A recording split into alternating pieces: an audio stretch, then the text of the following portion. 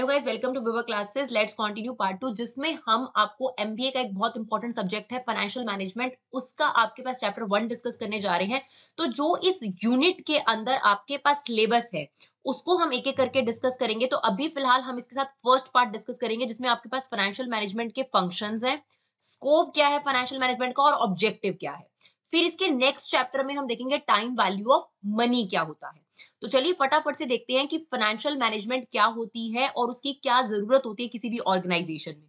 तो सबसे पहली बात अगर हम फाइनेंस की बात करें तो फाइनेंस क्या है?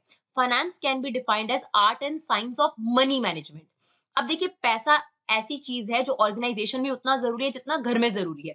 अब जैसे घर में जो मदर होती है वो पैसा प्रोवाइडर है फादर और मदर जो है घर में दिए गए पैसे को पूरे तरीके से मैनेज करती है ऑप्टिमली यानी इस तरीके से मैनेज करती है कि पूरे महीने का जो खर्चा है ना, वो भी चल जाए और सेविंग भी हो जाए। अब इसे आर्ट क्यों कहा जाता है? क्योंकि फाइनेंस को मैनेज करने का काम हर किसी के बस की बात नहीं है। एक आर्टिस्ट जैसे हर कोई नहीं बन सकता, ऐसे फाइनेंशियल मैनेजर हर कोई नहीं बन सकता। और इसे साइंस इसलिए कहा जाता है क्योंकि फाइनेंस की मैनेजमेंट में बहुत ज़्यादा डिसीज़न मेकिंग लगती है, बहुत टेक्निकलिटीज लगती है, जैसे कि साइंस में लगती है। तो finance can be defined as art and science of money management ये भी आपके पास हाईलाइट करने को आ सकता है तो आपको आर्ट अलग से बताना पड़ेगा साइंस अलग से बताना पड़ेगा। इसके अलावा हम ये जानते हैं, जैसे हमारी बॉडी में ब्लड का रोल है बिल्कुल उसी तरीके से जो फाइनेंस होता है, वो किसी भी एंटरप्राइज के लिए लाइफ ब्लड होती है। किसी भी ऑर्गेनाइजेशन की सक्सेस और जो फेलियर है, वो उस ऑर्गेनाइजेशन में कितने अच्छे तरीके से फाइनेंशियल डिसीजंस लिए हैं फाइनेंशियल मैनेजर ने, उस पर डिपेंड करता है। तीन फाइनेंशियल डिसीज़न हम लोग पढ़ेंगे।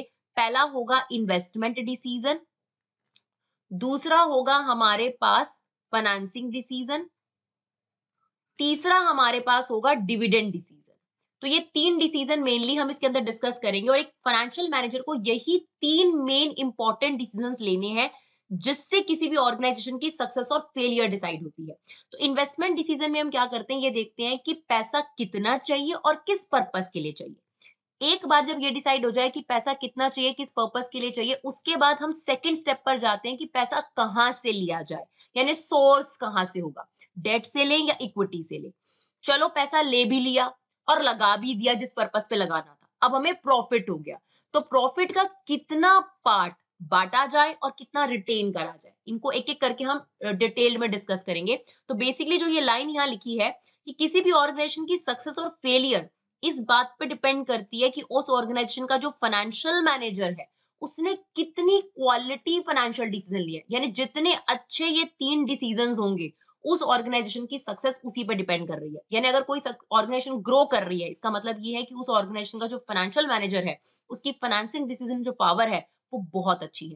पहले ऐसा नहीं होता था कि फाइनेंशियल मैनेजर अलग होता था, लेकिन आज के सिनारियों में जो उसका रोल है वो बहुत ज़्यादा बढ़ गया है। पहले से उसका रोल बहुत एक्सपेंडेड हो गया है।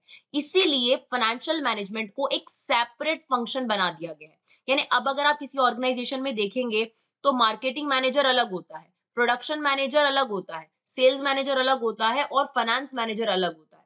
पहले ये सारी एक्टिविटी मोरोलेस एक ही पर्सन कर लेता था। चलिए अब हमारे पास आता है ये तो हो गया फाइनेंस अब फाइनेंशियल मैनेजमेंट की डेफिनेशन क्या है? तो financial management is a managerial activity comprising procurement of fund employment of firm resources in the most effective and efficient way to maximize the value of the firm. यानी एक financial manager को वो सारी activity करनी पड़ती है वो सारे फ़ंक्शंस करने पड़ते हैं जिससे वो ऑर्गेनाइजेशन के लिए फंड लेकर आ सके प्रोक्यूर कर सके, उनको सही जगह पर इस तरीके से लगाए कि ऑर्गेनाइजेशन का जो पैसा है, वो इफेक्टिवली यानी सही जगह इस्तेमाल हो और मिनिमम कॉस्ट पे वो पैसा लेकर आए। अगर वो मिनिमम कॉस्ट पे पैसा लेकर आएगा और सही जगह लगाएगा तो ऑटोमेटिक बात है कंपनी को प्रॉफिट होगा। अगर कंपनी को प्रॉफिट होगा तो कंपनी अच्छे डिविडेंड्स बांटेगी। अगर कंपनी अच्छे डिविडेंड्स बांटेगी तो ऑटोमेटिकली मार्केट प्राइस जो है शेयर का वो बढ़ जाएगा। और अगर मार्केट प्राइस शेयर का बढ़ जाएगा तो यही पर्पस है एक ऑर्गेनाइजेशन में फाइनेंशियल मैनेजर को लाने का कि शेयर होल्डर का जो वेल्थ है वो मैक्सिमाइज करो। यानी अगर शेयर होल्डर ने दस रुपए इन्वेस्ट करे हैं शेयर प्राइस में तो अब उसका जो शेयर है मार्केट में अगर सौ रुपए का हो गया, नब्बे रुपए उसकी क्रिएशन हो गई, इसी को बोलते हैं वेल्थ मैक्सिमाइजेशन तो ये तभी होगा जब प्रॉफिट्स होंगे। और प्रॉफिट तभी होगा जब आपने खुद अच्छे तीन डिसीज़न लिए होंगे। यानी इन्वेस्टमेंट डिसीज़न बढ़िया लिया, उसके बाद आपने फाइनेंसिंग डिसीज़न अच्छा लिया डिविडेंड डिसीज़न अच्छा लिया, उसके बाद ही आपके पास ये जो वेल्थ मैक्सिमाइजेशन का जो पर्पस है, वो अकम्प्लिश हो सकता है फाइनेंशियल मैनेजर का, जिसके लिए एक फाइनेंशियल मैनेजर को लाया जाता है। ठीक है? तो अब आपके पास दो तरीके की एसेट्स होती है, उनको भी समझ लेते हैं। एक होती है रियल एसेट्स जिनके बारे में हम अकाउंट्स में नॉर्मली समझते हैं। टेंजिबल एसेट्स हो गई प्लांट मशीनरी फैक्ट्री फर्नीचर ये हमारी टेंजिबल एसेट्स होती है। फिर इनटेंजिबल एसेट्स होती है पेटेंट हो गए कॉपी हो गए, ठीक है? या कोई भी नॉलेज हो गई आपके पास, किसी भी तरीके के राइट्स आपको मिलते हैं, ठीक है? तो ये आपके पास जैसे माइनिंग राइट्स वगैरह हो गए तो ये इनटेंजिबल एसेट्स होती है। पर हम इस चैप्टर में जो पढ़ने जा रहे हैं, वो है फाइनेंशियल एसेट्स फाइनेंशियल एसेट्स क्या होती है? सिक्योरिटीज को फाइनेंशियल एसेट बोला जाता है, और सिक्योरिटी में शेयर्स भी आता है, और डिबेंचर और बॉन्ड्स भी आते हैं। कई बच्चों को बॉन्ड्स और डिबेंचर में फ़र्क नहीं पता होता। तो डिबेंचर के आगे ऐसे लिखा होता है, दस परसेंट इंटरेस्ट या बारह परसेंट इंटरेस्ट पर बॉन्ड्स जनरली क्या होते हैं? ज़ीरो परसेंट डिबेंचर मतलब ज़ीरो परसेंट डिबेंचर को बॉन्ड बोलते हैं। तो कई बार ये सवाल उठता है कि यार, ये तो लोन देने वाले लोग हैं तो लोन देने वाले लोग फ्री में क्यों दे रहे हैं? तो फ्री में नहीं देते। अगर ये आपको स्टार्टिंग में एक लाख रुपए का लोन देने के लिए बात करेंगे तो पहले ही आपके दस हज़ार रुपए काटकर आपको नब्बे हज़ार देंगे। यानी पहले ही दिन ये आपसे इंटरेस्ट काट लेते हैं। अलग से इंटरेस्ट चार्ज नहीं करते ये। अब हमारे पास शेयर्स और डिवेंचर के बारे में बता रहा है तो शेयर्स को हम ऑनरशिप राइट देते हैं। तो शेयर दो टाइप के हैं इक्विटी शेयर और प्रेफरेंस शेयर जनरली जो रिस्क टेकर लोग होते हैं जो रिस्क लेना पसंद करते हैं वो कंपनी के इक्विटी शेयर बाय करते हैं। और जो रिस्क न्यूट्रल टाइप के लोग होते हैं, वो कंपनी के प्रेफरेंस शेयर बाय करते हैं। इक्विटी शेयर होल्डर जो होते हैं, उनके पास वोटिंग राइट होता है डिसीज़न मेकिंग पावर होती है, वो असली ओनर होते हैं कंपनी के। उनके पास जितना भी प्रॉफिट लास्ट में बचता है, वो सारा का सारा इक्विटी का होता है। प्रेफरेंस शेयर्स को कैसे आप डिफाइन कर सकते हो? प्रेफरेंस शेयर्स जो हैं, उनको इक्विटी के ऊपर प्रेफरेंस दी जाती है। यानी जब कंपनी को प्रॉफिट हुआ फॉर एग्जांपल ये है profit before interest and tax इसमें सबसे पहले हम डिवेंचर होल्डर को इंटरेस्ट देंगे। फिर आएगा हमारा प्रॉफिट बिफोर टैक्स फिर हम गवर्नमेंट को टैक्स देंगे। अब ये बचा प्रॉफिट आफ्टर टैक्स तो पहले इसमें प्रेफरेंस को डिविडेंड दिया जाएगा, फिर जो बचा कुचा है वो इक्विटी का डिविडेंड है। तो इसे बोलते हैं रेजिडुअल इनकम बची हुई इनकम तो ये कोई बुरी बात नहीं है कि इनको बचा कुचा मिलता है। इनका बचा कुचा कई बार इतना ज़्यादा होता है कि इनको तीन साल तक का बेनिफिट हो सकता है। तो प्रेफरेंस डिविडेंड वालों को फिक्स रेट ऑफ़ डिविडेंड दिया जाता है, जबकि इक्विटी का डिविडेंड फ्लेक्सिबल होता है। लेकिन ये दोनों कंपनी के ऑनर्ड फंड की कैटेगरी में डिसाइड होती है। तो एक फाइनेंशियल मैनेजर को यही देखना होता है कि ऑनर्ड फंड से कितना पैसा लें और बोरोड फंड से कितना पैसा लें। तो बोरोड फंड में क्या आता है? लोन हो गए बॉन्ड हो गए और डिवेंचर्स हो गए। ठीक है ना? इन्हें इंटरेस्ट टैक्स शील्ड इसलिए बोला जाता है कि अगर कोई भी कंपनी इनसे पैसा लेती है तो कंपनी की टैक्स की बचत होती है। क्यों? अब देखिए, यही वाला टेबल देखिए। अगर मेरा पाँच लाख रुपए का प्रॉफिट था और उसमें से दो लाख रुपए का अगर मेरा इंटरेस्ट चला जाता है तो अब मुझे तीन लाख पे टैक्स देना है। और अगर ये इंटरेस्ट नहीं जाता तो मुझे पाँच लाख पर टैक्स देना पड़ता। यानी मेरी टैक्स की बचत होती है और जो टैक्स की बचत होती है, वो जेब में चली जाती है इक्विटी शेयर होल्डर्स के, उसे हम बोलते हैं ट्रेडिंग ऑन इक्विटी। यानी कई बार डिबेंचर से पैसा लेकर या लोन से पैसा लेकर बेनिफिट हो जाता है टैक्स का और वो जो टैक्स का बेनिफिट होता है वो चला जाता है इक्विटी की जेब में। उसे हम बोलते हैं ट्रेडिंग ऑन इक्विटी का कंसेप्ट। यानी while issuing debenture tax benefit goes to equities hands that is known as trading on equity तो अब हमारे पास एक इंपॉर्टेंट क्वेश्चन आता है evaluation of the financial management as a discipline यानी एक फाइनेंशियल मैनेजर को एक प्रॉपर वे में कैसे लिया गया? यानी कब एक फाइनेंशियल मैनेजर को ज़रूरत महसूस करेगी कि फाइनेंशियल मैनेजमेंट एक अलग से फ़ंक्शन होना चाहिए? ये अप्रोचेस क्या है फाइनेंशियल मैनेजमेंट की? या फिर आप कह सकते हो नेचर और स्कोप क्या है फाइनेंशियल मैनेजमेंट का? तो इसे तीन फेजेस में डिराइव करा गया है। Up to nineteen forties nineteen forty to nineteen fifty and after nineteen fifty तो ये तीन फ़ेज़ है। पहला फ़ेज़ है 1940 तक का फ़ेज़ बहुत इजी फ़ेज़ है। ट्रेडिशनल फ़ेज़ इसको बोलते थे। इस फ़ेज़ में फाइनेंशियल मैनेजर का काम सिर्फ़ इतना होता था कि भाई लॉन्ग टर्म के लिए पैसा चाहिए, वो ला दू। यानी अगर कंपनी को फॉर्मेशन करनी है एक्सपेंशन करना है, कोई नई मशीन खरीदनी है, सिर्फ़ लॉन्ग टर्म पर्पज के लिए। तो लॉन्ग टर्म पर्पज के लिए जब कंपनी को पैसे की ज़रूरत पड़ती थी तो वो अप्रोच करते थे फाइनेंशियल मैनेजर को कि तुम काम कर दो। तो एक तरीके से फाइनेंशियल मैनेजर रेगुलरली ऑर्गेनाइजेशन में रखा जाए, ये भी ज़रूरी नहीं है। वो एपिसोडिक होता था। एपिसोडिक मतलब जैसे एपिसोड आता है, आज आया, कल नहीं आया। तो बिल्कुल उस तरीके से फाइनेंशियल मैनेजर का काम होता था। मतलब वो कैजुअल वर्कर की तरह काम करता था। जब कंपनी को लॉन्ग टर्म फाइनेंस की ज़रूरत होगी, सिर्फ़ तब आ पाओगे शॉर्ट टर्म के लिए उसको नहीं बुलाया जाता था। तो ये थी traditional phase of financial management तो financial management was concern mainly with procurement of fund इसका काम सिर्फ़ क्या था? प्रोक्यूर करो फंड और वो भी जब कंपनी को लॉन्ग टर्म पैसे की ज़रूरत है। शॉर्ट टर्म के लिए इसको बिल्कुल नहीं बुलाया जाता था। तो लिमिटेशन क्या थी ट्रेडिशनल अप्रोच की? कि भाई वो सिर्फ़ पैसा लाके दे देता था, बाकी काम उससे नहीं करवाया जाता था। तो उसका एम्फेसिस क्या था ट्रेडिशनल अप्रोच का कि भाई फंड ला दो बस। एपिसोडिक की नेचर इसलिए होता था क्योंकि कभी कभार उसको बुलाया जाता था। शॉर्ट टर्म फाइनेंस के लिए उससे बात ही नहीं करी जाती थी। सिर्फ़ लॉन्ग टर्म फाइनेंस पे ज़्यादा ज़ोर दिया जाता था, जबकि शॉर्ट टर्म फाइनेंसिंग भी ऑर्गेनाइजेशन के लिए उतनी ही ज़रूरी है जितनी लॉन्ग टर्म ज़रूरी है। और बात बाकी जो इश्यूज़ होते थे फाइनेंशियल मैनेजमेंट के, वो पूछे ही नहीं जाते थे। मतलब ट्रेडिशनल अप्रोच का सिर्फ़ एक ही काम था फाइनेंशियल मैनेजर को बुलाओ जब कंपनी को एक्सपेंशन या फिर फॉर्मेशन या नए प्रोडक्ट लॉन्च करने के लिए पैसा चाहिए, सिर्फ़ तब बुलाओ अदरवाइज़ उसको बुलाने की कोई ज़रूरत नहीं है। लॉन्ग टर्म यानी शेयर डिबेंचर जब इशू करना है, तभी फाइनेंशियल मैनेजर की ज़रूरत है अदरवाइज़ फाइनेंशियल मैनेजर का कोई रोल नहीं है। फिर सेकेंड फ़ेज़ आया, यानी चेंजेस आने लगे। ट्रांजिशनल फ़ेज़ इसको कहा गया 1940 से 1950 का ये फ़ेज़ है। इसमें जो फाइनेंशियल मैनेजर का रोल है, वो बढ़ गया। अब प्रॉब्लम्स आने लगी डेली लाइफ में मैनेजमेंट ऑर्गेनाइजेशन के अंदर कि यार सिर्फ़ जो है लॉन्ग टर्म फाइनेंस के अलावा और डे टू डे प्रॉब्लम्स बहुत हो रही है फाइनेंस को लेकर। कैश कम पड़ जाता है क्रेडिटर को पेमेंट टाइम से नहीं जाती है। तो यार ये सब डील करने के लिए भी ऑर्गेनाइजेशन में कोई ना कोई होना चाहिए। क्योंकि अगर क्रेडिटर को टाइम से पेमेंट नहीं करोगे तो सप्लायर आपको माल सप्लाई नहीं करेगा। सैलरी टाइम से नहीं दोगे तो वर्कर काम नहीं करेंगे। तो ये सारे जो इश्यूज़ होते हैं सैलरी टाइम से देना क्रेडिटर को टाइम से पेमेंट करना बैंक का इंटरेस्ट चुकाना, ये सब डे टू डे प्रॉब्लम्स है फाइनेंस की, यानी शॉर्ट टर्म यानी वर्किंग कैपिटल डिसीज़न तो इनके बारे में ट्रेडिशनल अप्रोच में फाइनेंशियल मैनेजर को रखा ही नहीं जाता था। जब धीरे धीरे डे टू डे प्रॉब्लम्स आने लगी फाइनेंस की, तब समझ में आने लगा कि ट्रेडिशनल अप्रोच में बदलाव करने की ज़रूरत है। तो फाइनेंशियल मैनेजर की रिस्पॉन्सिबिलिटी और बढ़ा दी और उसको कहा कि आपने along with procurement of fund यानी अब आपने दो काम करने हैं। प्रोक्यूर तो करना ही है फंड फंड तो लाना ही ऑर्गेनाइजेशन के लिए। साथ ही साथ आपने ऑर्गेनाइजेशन में कॉस्ट कंट्रोल करना है कि ऑर्गेनाइजेशन का खर्चा जो है वो ज़्यादा ना आए। और तीसरी अप्रोच जो अब चल रही है मॉडर्न फ़ेज़ जिसमें एक फाइनेंशियल मैनेजर सभी कुछ करता है। आज उसका काम प्रोक्यूरमेंट ऑफ़ फंड भी है, यानी पैसा लाना भी है। पहले तो वो इस बात का जवाब ढूंढेगा कि कितना पैसा लाना है हाउ मच फंड ठीक है? और किस पर्पस के चाहिए, वो भी देखेगा।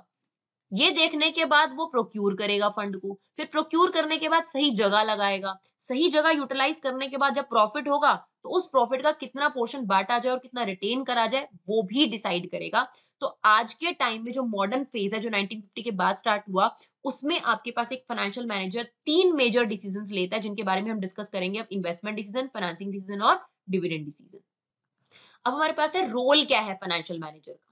या इंपॉर्टेंस क्या है आज के टाइम में मॉडर्न फ़ेज़ को देखते हुए एक फाइनेंशियल मैनेजर की इंपॉर्टेंस क्या है? तो भाई वो बहुत सारे काम करता है तो ये सारे फ़ंक्शन है भाई के फोकास्ट करता है। कितना पैसा चाहिए? How much fund is required ठीक है ना?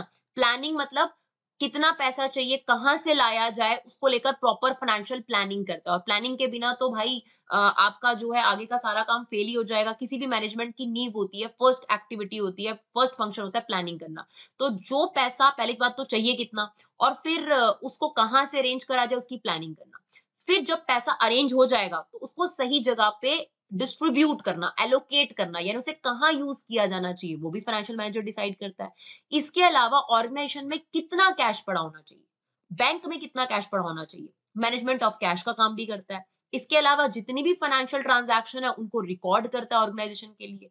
बाकी सभी डिपार्टमेंट के साथ कोऑर्डिनेट करता है। देखिए, कोई भी डिपार्टमेंट ऐसा नहीं जिसको पैसे की ज़रूरत नहीं है। प्रोडक्शन डिपार्टमेंट को पैसे की ज़रूरत है मार्केटिंग डिपार्टमेंट को पैसे की ज़रूरत है तो ये सारे के सारे डिपार्टमेंट इसके पास तो ज़रूर आते हैं। तो इन सबके साथ लगातार कम्युनिकेशन करते रहना और इन सभी ऑर्गेन्स में, जैसे हमारी बॉडी में ब्लड हर ऑर्गेन में जाना चाहिए। बिल्कुल उसी तरीके से जो फंड का फ्लो है ऑर्गेनाइजेशन में सही तरीके से चलता रहे। वो आपके पास फाइनेंशियल मैनेजर इंश्योर करता है। इसके अलावा फाइनेंशियल कंट्रोल करता है कि अगर कहीं पर पैसे की खर्ची ज़्यादा हो रही है तो उसे कहाँ से कंट्रोल करा जाए। किसी भी डिपार्टमेंट में अगर पैसे का कंट्रोल नहीं हो रहा है तो उस पर कंट्रोल करना। इसके अलावा कैपिटल मार्केट और फाइनेंशियल इंस्टीट्यूशन के साथ कॉन्ट्रैक्ट करना। मतलब जो सेबी वगैरह है आपके पास, जब आप शेयर्स वगैरह इशू करते हो तो सेबी से परमिशन लेनी पड़ती है और स्टॉक मार्केट में आपको शेयर इशू करने पड़ते हैं। तो ये जो स्टॉक मार्केट में क्या चल रहा है? ठीक है सेबी से परमिशन वगैरह लेना। तो इनके साथ लगातार इंटरेक्शन का काम जो है, ये भी फाइनेंशियल मैनेजर का है। तो ये हो गया आपके पास रोल क्या है फाइनेंशियल मैनेजर का? तो भाई वो फोकस्ट करता है प्लानिंग करता है फंड्स को सही जगह पे लगाता है ऑर्गेनाइजेशन में मैनेजमेंट करता है कैश की रिकॉर्ड करता है सारी ऑर्गेनाइजेशन की डिटेल्स को, सभी डिपार्टमेंट्स को फंड का फ्लो बनाता है फाइनेंशियल कंट्रोल करता है। अगर पैसे ज़्यादा कहीं खर्च हो रहे हैं तो वहाँ कंट्रोल करने की कोशिश करता है और स्टॉक मार्केट और फाइनेंशियल इंस्टीट्यूशन के साथ लगातार कॉन्टैक्ट में रहता है। अब आता है जो तीन डिसीज़न एक फाइनेंशियल मैनेजर को लेने पड़ते हैं फ़ंक्शन क्या है? इसे हम फ़ंक्शन कहें या डिसीज़न कहें, कुछ भी कह सकते हैं। तो फ़ंक्शन भी कह सकते हैं और डिसीज़न भी कह सकते हैं। तो एक एक करके इन डिसीज़न को डिटेल में पढ़ते हैं। तो फाइनेंशियल डिसीज़न की अगर हम बात करें तो पहला जो डिसीज़न होता है, उसे हम क्या बुलाते हैं? इन्वेस्टमेंट डिसीज़न तो इन्वेस्टमेंट डिसीज़न में एक फाइनेंशियल मैनेजर को ये डिसाइड करना होता है कि फंड किस पर्पस के लिए चाहिए। शॉर्ट टर्म के लिए चाहिए या लॉन्ग टर्म के लिए चाहिए? शॉर्ट टर्म का मतलब है कि कच्चा माल खरीदने के लिए चाहिए रॉ मटेरियल खरीदने के लिए चाहिए, या सैलरी पे करनी है, या क्रेडिटर को पेमेंट करनी है, इस बात के लिए पैसा चाहिए तो वो होता है शॉर्ट टर्म फाइनेंसिंग डिसीज़न और उसे हम लिक्विडिटी डिसीज़न भी बोलते हैं और वर्किंग कैपिटल डिसीज़न भी बोलते हैं। और अगर एक फाइनेंशियल मैनेजर को पैसा डिसाइड करना है नई मशीन खरीदने के लिए मॉडर्नाइजेशन करने के लिए, नई ब्रांच खोलने के लिए नया प्रोडक्ट लॉन्च करने के लिए डाइवर्सिफाई होना चाहता है अगर वो, इन सब एक्टिविटी के लिए अगर पैसा चाहिए तो उसे बोलते हैं लॉन्ग टर्म फाइनेंशियल डिसीज़न और इन्हें हम इन्वेस्टमेंट डिसीज़न भी बोलते हैं फाइनेंसिंग डिसीज़न भी बोलते हैं तो ये आपके पास लॉन्ग टर्म फाइनेंशियल डिसीज़न हो गया। तो पहला डिसीज़न जिसमें एक फाइनेंशियल मैनेजर ये डिसाइड करता है कि किस पर्पस के लिए पैसा चाहिए और कितने समय के लिए पैसा चाहिए और कितना पैसा चाहिए, उसे हम बोलते हैं इन्वेस्टमेंट डिसीज़न उसके बाद अगर हम बात करें, ये तीनों डिसीज़न हम आपको एक एक करके एक्सप्लेन करते हैं। देखिए, सबसे पहले आपके पास है तो ये तीन मेन डिसीज़न है जो एक आपके पास फाइनेंशियल मैनेजर को लेने होते हैं। तो ये तीन डिसीज़न क्या हैं? सबसे पहला है हमारे पास इन्वेस्टमेंट डिसीज़न उसके बाद है फाइनेंसिंग डिसीज़न उसके बाद है डिविडेंड डिसीज़न तो इन्वेस्टमेंट डिसीज़न में हमने आपको बताया कि वो ये डिसाइड करेगा कि लॉन्ग टर्म के लिए पैसा चाहिए शॉर्ट टर्म के लिए. अगर लॉन्ग टर्म के लिए चाहिए तो capital budgeting decision short term के लिए पैसा चाहिए तो वर्किंग कैपिटल डिसीज़न एक बार ये डिसाइड हो गया कि पैसा किस पर्पज के लिए चाहिए. फिर सोर्स ऑफ़ फाइनेंस कहाँ से पैसा लिया जाए? तो हमारे पास दो ज़रिए होते हैं बोरोड फंड या तो हम डेट से लोन से ले लें, या फिर ऑनर्ड फंड इक्विटी या प्रेफरेंस से ले लें. ठीक है ना? उसके बाद अगर हमें प्रॉफिट हो गया, अब उस प्रॉफिट का कितना हिस्सा रिटेन करा जाए और कितना हिस्सा preference share sorry equity share holders को पे आउट कर दिया जाए तो उस डिसीज़न को हम बोलते हैं डिविडेंड डिसीज़न अगर ये तीनों डिसीज़न ऑप्टिमली लिए जाएँ तो फाइनेंशियल मैनेजर ऑर्गेनाइजेशन की सक्सेस का सबसे बड़ा रोल प्ले करता है। तो एक एक करके देखते हैं, सबसे पहले है इन्वेस्टमेंट डिसीज़न तो हर फर्म के पास रिसोर्स की स्कारसिटी है। ऐसा तो है नहीं ना, पैसा पैसा तो हर किसी को कम ही लगता है।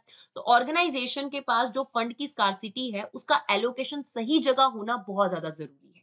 तो इसीलिए एक इन्वेस्टमेंट डिसीज़न लेते वक्त फाइनेंशियल मैनेजर को बहुत इंपॉर्टेंट रोल प्ले करना पड़ता है। तो दो तरीके के इन्वेस्टमेंट डिसीज़न है लॉन्ग टर्म और शॉर्ट टर्म लॉन्ग टर्म को हम बोलते हैं कैपिटल बजटिंग और शॉर्ट टर्म को हम बोलते हैं वर्किंग कैपिटल डिसीज़न सबसे पहला है कैपिटल बजटिंग डिसीज़न तो कैपिटल बजटिंग डिसीज़न के बारे में हमने आपको बता दिया कि अगर ऑर्गेनाइजेशन के लिए नई ब्रांच खोलनी है, नया प्रोडक्ट लॉन्च करना है फिक्स एसेट्स खरीदनी है, उन डिसीज़न को हम कैपिटल बजटिंग डिसीज़न बोलते हैं। इसके फीचर्स क्या होते हैं? एक तो इसमें खूब पैसा लगा होता है। रिस्क बहुत ज़्यादा है क्योंकि खूब पैसा लगा हुआ है। और अगर गलत डिसीज़न ले लिया तो ये डिसीज़न रिवर्सिबल भी नहीं है और आपकी ऑर्गेनाइजेशन को लॉन्ग टर्म इम्पैक्ट करेगी। जैसे अगर आपने घर गलत खरीद लिया तो ये डिसीज़न आपके लिए बहुत ज़्यादा रिस्की होने वाला है क्योंकि आपका काफ़ी पैसा इसमें लगा होगा। घर खरीदने के बाद उसको बेचना इतना आसान नहीं होता। आपकी लॉन्ग टर्म इम्पैक्ट कर जाएगा क्योंकि आपने लोन लेकर वो लिया था। तो पहले तो आपको इंटरेस्ट ही चुकाना पड़ेगा।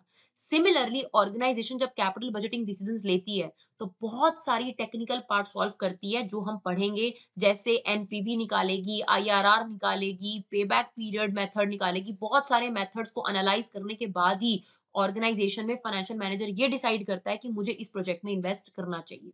तो आपके पास कैपिटल बजटिंग के फीचर्स से हमें पता चल गया कि कितने इंपॉर्टेंट है। तो capital budgeting decision are crucial for the survival of the firm अगर आप गलत डिसीज़न लोगे तो आपके प्रॉफिट पे बहुत ज़्यादा फ़र्क पड़ेगा, क्योंकि अगर आपने फिक्स सेट गलत ले ली तो काफ़ी गड़बड़ हो जाएगी। दूसरा डिसीज़न जो इन्वेस्टमेंट डिसीज़न के अंदर आता है, वो है वर्किंग कैपिटल डिसीज़न जिसे हम लिक्विडिटी डिसीज़न भी कहते हैं।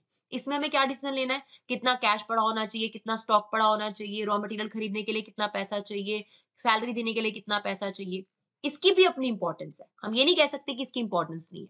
जैसे हमने ट्रेडिशनल फ़ेज़ में पढ़ा कि पहले सिर्फ़ लॉन्ग टर्म के लिए फाइनेंशियल मैनेजर को रखा जाता था, लेकिन आज के टाइम में ये बात बहुत ज़रूरी हो गई है कि स्टॉक भी ज़्यादा नहीं पड़ा होना चाहिए ऑर्गेनाइजेशन में। ऑर्गेनाइजेशन में कैश भी जितना ज़रूरी है उतना पड़ा होना चाहिए। बैंक में भी कैश होना चाहिए। क्रेडिटर के टाइम पे पेमेंट होनी चाहिए। तो ये सारी चीज़ें डे टू डे पेमेंट को डिनोट करती हैं लिक्विडिटी डिसीज़न को।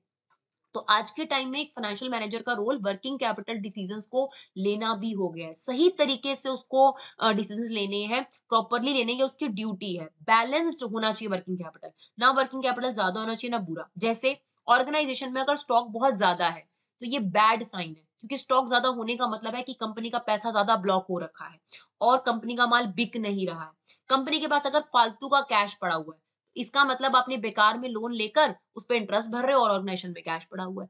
तो वर्किंग कैपिटल डिसीज़न की भी अपनी ही इंपॉर्टेंस है जो एक फाइनेंशियल मैनेजर को ध्यान में रखनी चाहिए। तो पहला डिसीज़न हमारा हो गया इन्वेस्टमेंट डिसीज़न जिसमें हमने पढ़ा कि कैपिटल बजटिंग डिसीज़न और वर्किंग कैपिटल डिसीज़न यानी शॉर्ट टर्म और लॉन्ग टर्म जब हमने एक बार ये डिसाइड कर लिया कि जी हमको पैसा जो है एक मशीन खरीदने में लगाना है, मान लेते हैं कि तीस करोड़ की एक मशीन खरीदनी है। इसका मतलब जो फाइनेंशियल मैनेजर है उसे कैपिटल बजटिंग डिसीज़न लेना है है ना? अब उसको ये तीस करोड़ रुपए कहाँ से अरेंज करने हैं?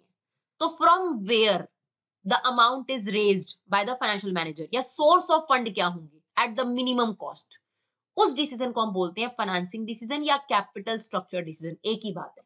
इसमें एक फाइनेंशियल मैनेजर ये डिसाइड करता है कि जो मुझे तीस करोड़ रुपए लेने हैं, ये सिर्फ़ डेट से लूँ, सिर्फ़ इक्विटी से लूँ, या डेट और इक्विटी का एक अच्छा मिक्सचर करूँ, ताकि मेरी मिनिमम कॉस्ट पड़े तो कैसे वो प्रोक्यूर करे इस पैसे को? कैसे वो तीस करोड़ रुपए अरेंज करेगा? कहाँ से?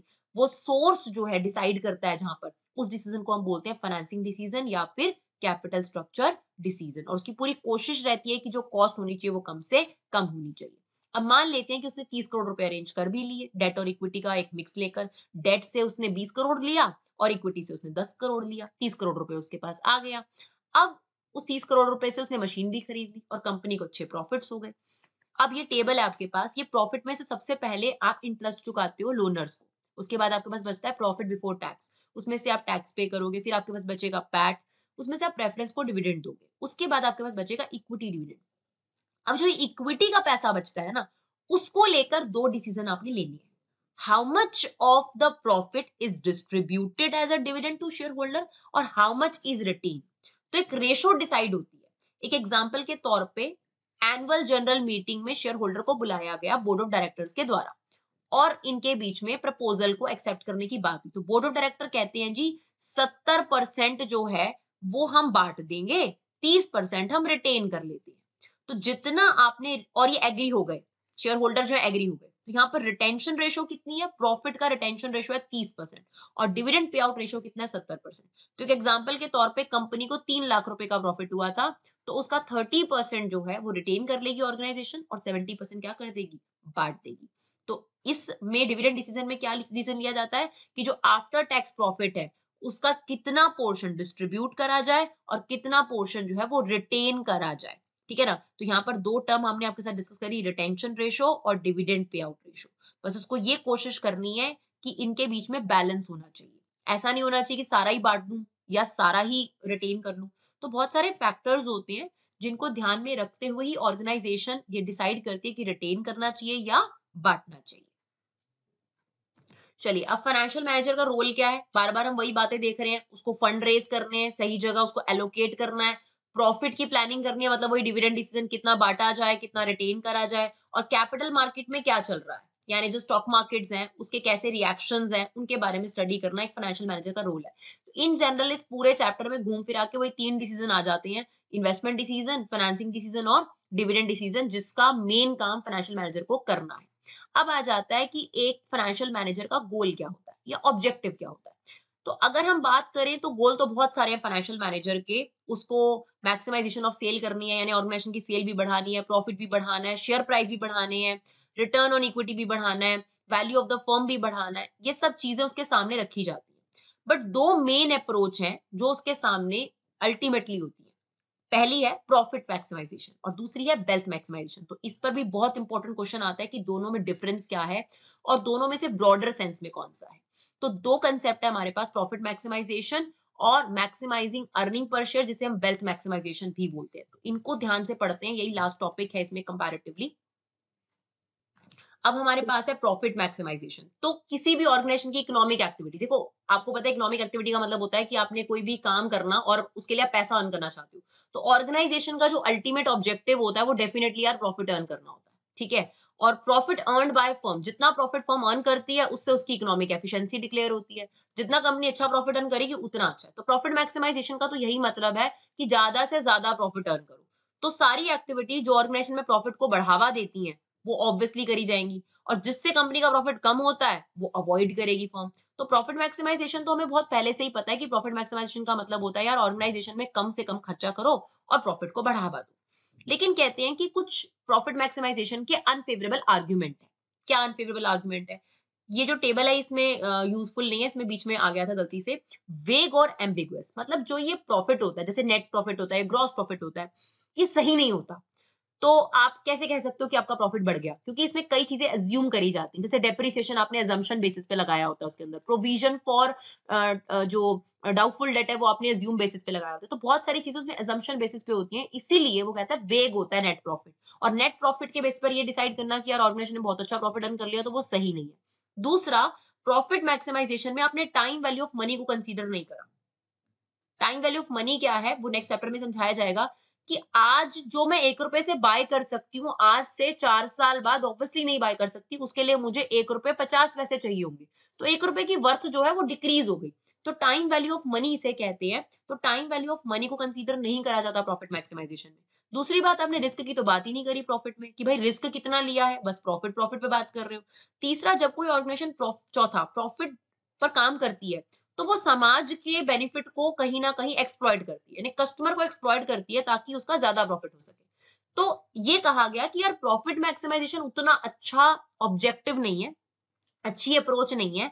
तुम ना वेल्थ मैक्सिमाइजेशन की तरफ़ जाओ, वो ज़्यादा बढ़िया है। पर ऑर्गेनाइजेशन ऑब्वियसली प्रॉफिट मैक्सिमाइजेशन को बहुत इंपॉर्टेंस देती है। अब बहुत बार पेपर में क्वेश्चन आता है वेल्थ मैक्सिमाइजेशन कंसेप्ट को समझाइए। तो इसके दो पहलू हैं, दोनों को ध्यान से समझना है। वेल्थ मैक्सिमाइजेशन का मतलब होता है market price of share increase करना। और दूसरी तरफ़ है एनपीवी मैक्सिमम करना। तो दोनों चीज़ें आपको समझाते हैं। पहला है मार्केट प्राइस इंक्रीज करना। अगर कंपनी ने सही जगह से, यानी फाइनेंशियल मैनेजर ने सही जगह से प्रोक्यूर कर लिया फंड मिनिमम कॉस्ट पर और उसे सही जगह इफेक्टिवली इन्वेस्ट कर लिया। तो कंपनी को डेफिनेटली अच्छे प्रॉफिट्स होंगे। अगर कंपनी को अच्छे प्रॉफिट्स होंगे तो कंपनी डिविडेंड्स अच्छे बांटेगी। अगर कंपनी डिविडेंड अच्छे बांटेगी तो मार्केट में उसकी डिमांड जो शेयर की होगी, वो बढ़ जाएगी। और अगर डिमांड ऑफ़ शेयर बढ़ जाएगी तो automatically market price of shares जो है ना, वो इंक्रीज हो जाएगा। और अगर market price of share increase हो जाएगा इसे ही बोलते हैं कि आपने जो शेयर होल्डर है, उसकी वेल्थ बढ़ा दी। यानी उसने दस रुपए लगाए थे, आज वो मार्केट में उस शेयर को बेच रहा है तो सौ रुपए का बिक रहा है, दो सौ रुपए का बिक रहा है। बहुत सारे कंपनी के शेयर देखो जिसमें दस रुपए की चीज़ थी, लेकिन आज वो कितनी वैल्यू हो चुकी है, उसे बोलते हैं वेल्थ मैक्सिमाइजेशन दूसरा एक और वेल्थ मैक्सिमाइजेशन का कंसेप्ट है, ये एक परस्पेक्टिव है और ये दूसरा परस्पेक्टिव है। दूसरा परस्पेक्टिव है नेट प्रेजेंट वैल्यू को मैक्सिमम करो। नेट प्रेजेंट वैल्यू क्या होती है? सबसे पहले जितने भी तुम्हार को फ्यूचर में इनफ्लोज होने वाले मतलब पैसे मिलने वाले उसकी वैल्यू आज के हिसाब से लगाओ। जैसे कि एग्ज़ाम्पल के तौर पे, आज मैंने एक लाख रुपए बैंक में जमा कराए बैंक मुझे पाँचवें साल से बीस बीस हज़ार रुपए देना शुरू कर देगा। तो ये जो मैंने एक लाख रुपए जमा कराई है तो आज की वैल्यू है प्रेजेंट वैल्यू है, लेकिन जो बीस बीस हज़ार रुपए मिलेंगे मुझे फ्यूचर है। तो इन बीस हज़ार रुपए की वर्थ को आज के हिसाब से लगाओ, उसे बोलते हैं present value of cash inflows उसमें से जब हम present values of cash outflow minus करते हैं तो आता है नेट प्रेजेंट वैल्यू जिसपे हम न्यूमेरिकल सीखेंगे। अगर ये पॉजिटिव हो, जितना ज़्यादा उतना अच्छा है। अगर ये पॉजिटिव है, चार प्रोजेक्ट है, अगर ये पॉजिटिव है चारों का तो जिसका एनपीवी ज़्यादा होगा, उसको हम इंपॉर्टेंस देंगे। और जिसका एनपीवी कम होगा, उसे हम कम इंपॉर्टेंस देंगे। क्योंकि एनपीवी मैक्सिमम का मतलब होगा वेल्थ मैक्सिमाइज उसी से फ़ायदा होगा कंपनी को। और अगर एनपीवी नेगेटिव है, उस प्रोजेक्ट को तो हमें रिजेक्ट ही कर देना चाहिए। तो हमारे पास दो प्रस्पेक्टिव हो गए वेल्थ मैक्सिमाइजेशन के, एक हो गया increasing the market price of the share और दूसरा हो गया एनपीवी जितनी ज़्यादा से ज़्यादा हो। एनपीवी पॉजिटिव होगी तो प्रोजेक्ट को आपने एक्सेप्ट करना है नेगेटिव होगी तो डेफिनेटली एक्सेप्ट नहीं करना। और अगर तीन चार प्रोजेक्ट है, चारों की पॉजिटिव है तो जिसकी ज़्यादा है, उसको हम ले लेते हैं, इसे बोलते हैं वेल्थ मैक्सिमाइजेशन अब एनपीवी का फॉर्मूला जो हमने आपको ऑलरेडी बता दिया present value of all future cash inflows उनकी जो भी फ्यूचर में आपको पैसे मिलने वाले हैं, उसकी आज ही वैल्यू निकालो। और present value of all future cash outflow उससे आपके पास एनपीवी निकल कर आ जाती है। अब आपके पास है कि वेल्थ मैक्सिमाइजेशन ज़्यादा अच्छा क्राइटेरिया है प्रॉफिट मैक्सिमाइजेशन से तो यस क्यों? क्योंकि वेल्थ मैक्सिमाइजेशन जो है, वो टाइम वैल्यू ऑफ़ मनी को कंसीडर करता है। वो सिर्फ़ प्रॉफिट पे फोकस नहीं करता, वो देखता है पैसे कितने आ रहे हैं ऑर्गेनाइजेशन में।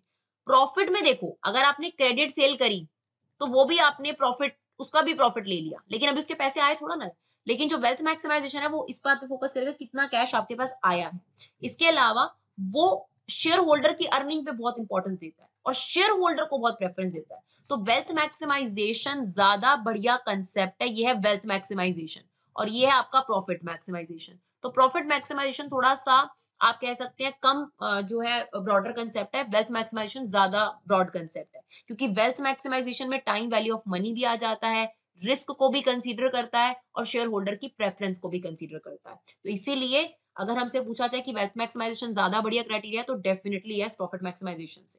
अब देखिए, जो वेल्थ मैक्सिमाइजेशन वाली अप्रोच है, वो शेयर होल्डर के पर्पज से है सिर्फ़, है ना? तो उसका जो फोकस है, वो पूरा का पूरा जो है, वो सिर्फ़ शेयर होल्डर पर है यार शेयर होल्डर के पैसे बढ़ाओ शेयर होल्डर के पैसे बढ़ाओ। लेकिन एक जो मैनेजर फाइनेंशियल मैनेजर कंपनी में आता है, उसे सिर्फ़ शेयर होल्डर का ध्यान नहीं रखना होता। बाकी सभी स्टेक होल्डर्स का भी ध्यान रखना होता है, जैसे क्रेडिटर्स हो गए, खुद मैनेजमेंट हो गई इंप्लॉय हो गई गवर्नमेंट हो गई, इन सब का भी ध्यान रखना है। तो उसको बहुत इंपॉर्टेंटली डिसीज़न लेने होते हैं ताकि वो अपने सभी स्टेक होल्डर्स को खुश कर सके, ठीक है? तो कहते हैं there is a difference in the perception of management and share holder तो शेयर होल्डर कहेगा कि, यार, मुझे ज़्यादा पैसा कमा कर दू। और मैनेजर का परसेप्शन हो सकता है डिफरेंट हो, क्योंकि मैनेजमेंट जो है, वो ये सोचती है बोर्ड ऑफ़ डायरेक्टर ये सोचता है कि, यार, मुझे तो पूरी ऑर्गेनाइजेशन को बेनिफिट देना है। लेकिन शेयर होल्डर कहता है, नहीं, तू सिर्फ़ मुझे बेनिफिट दे। तो यहाँ पर हमारी दिक्कत ज़्यादा आ जाती है।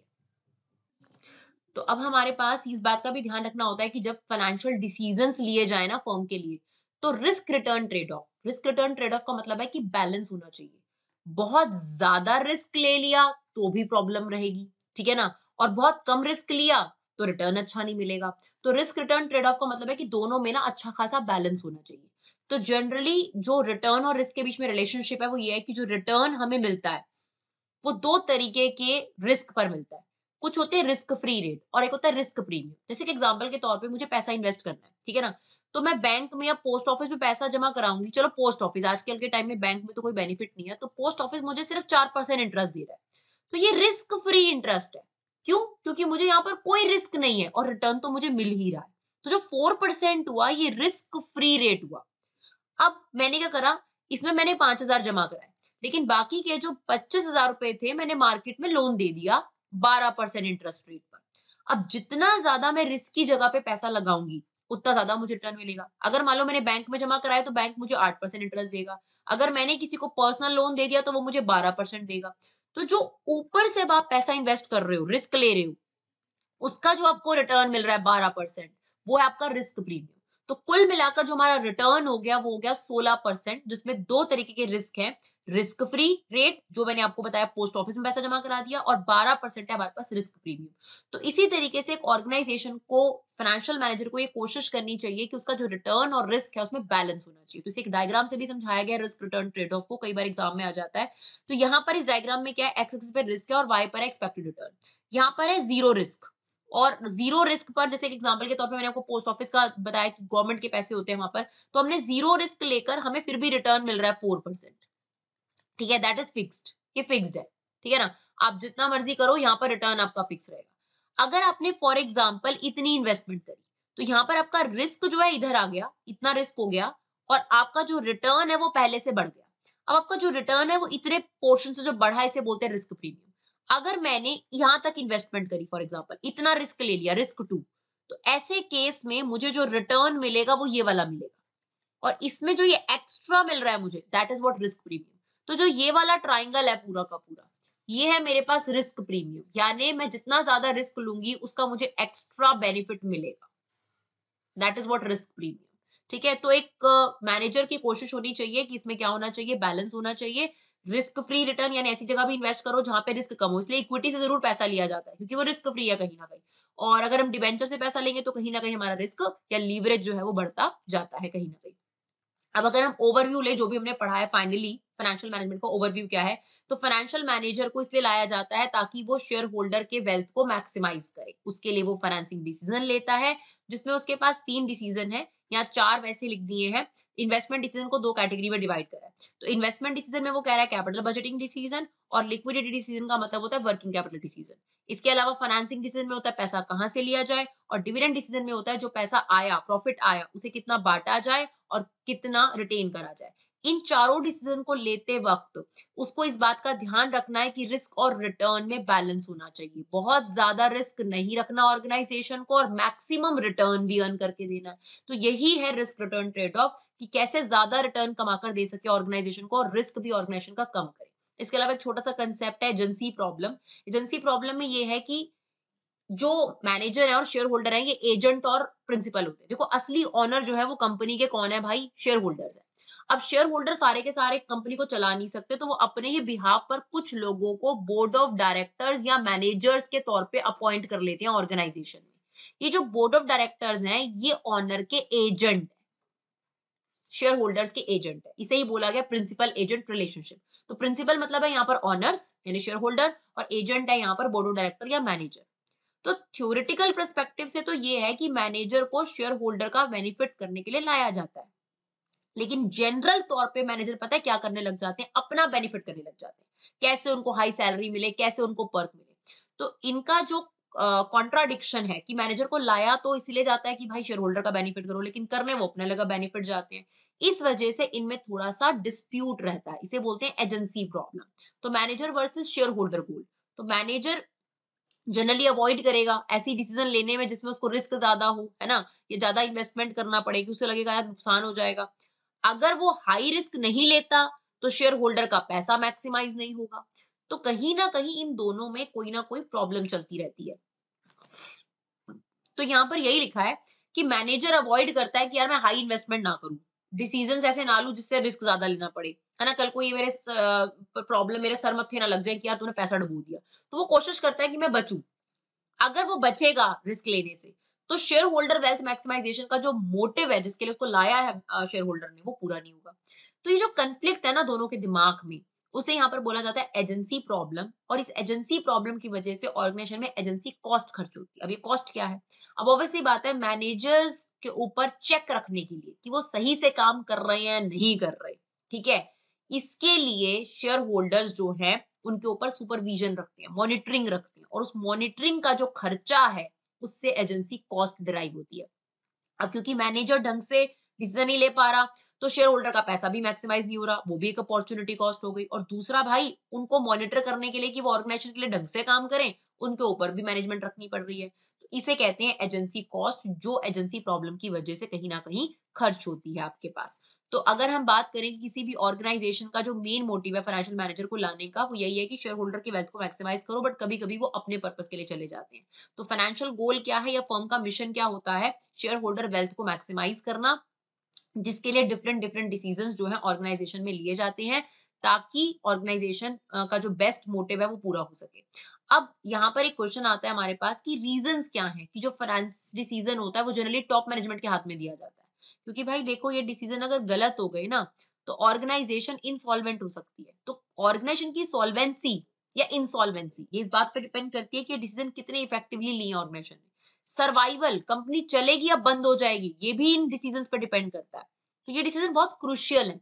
कंपनी इकोनॉमीज में रहे। इकोनॉमीज में मतलब है कम से कम खर्चा करके ऑर्गेनाइजेशन चले। तो ये जो डिसीज़न है ना, तीन डिसीज़न ये इतने इंपॉर्टेंट है कि इन्हें टॉप मैनेजमेंट के हाथ में दिया जाना बहुत ज़्यादा ज़रूरी है, क्योंकि इनमें जरा सी भी लापरवाही जो है ऑर्गेनाइजेशन को काफ़ी कुछ सफ़र करा सकती है। अब हम बात करें कि function organisation of finance function क्या है? दो चार्ट हमारे सामने बने हुए हैं। अलग अलग ऑर्गेनाइजेशन में अलग अलग तरीके से होता है। इसमें अगर मान लीजिए एक प्रोडक्ट वाली कंपनी और यहाँ पर एक से ज़्यादा प्रोडक्ट वाली कंपनी है तो जनरली क्या होता है, बोर्ड ऑफ़ डायरेक्टर होते हैं, उसके नीचे मैनेजिंग डायरेक्टर होता है। मैनेजिंग डायरेक्टर के नीचे प्रोडक्शन मैनेजर होगा पर्सनल मैनेजर होगा मतलब एचआर मैनेजर होगा, फाइनेंस मैनेजर होगा और मार्केटिंग मैनेजर होगा। जो ये फाइनेंशियल डायरेक्टर होता है या फाइनेंशियल मैनेजर होता है, इसके अंडर दो लोग होते हैं जिसके बारे में हमने पढ़ना है। एक होता है ट्रेजरर और एक होता है कंट्रोलर। जो ट्रेजरर होता है, उसका काम होता है फंड को रेज करना और मैनेज करना, कि कहाँ लगाना है। और जो कंट्रोलर है, वो इस बात को एश्योर करता है कि वाक्य में फंड सही जगह लगाए गए हैं। अगर कुछ भी गलत है तो उसे वहीं पे चेक ऑन करता है।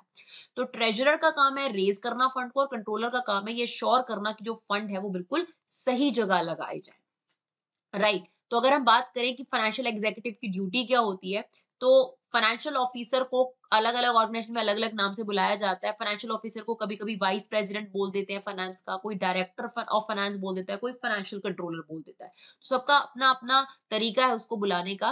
बाकी हमने ट्रेजर का रोल क्या होता है कंट्रोलर का रोल क्या होता है, वो ऑलरेडी बता दिया।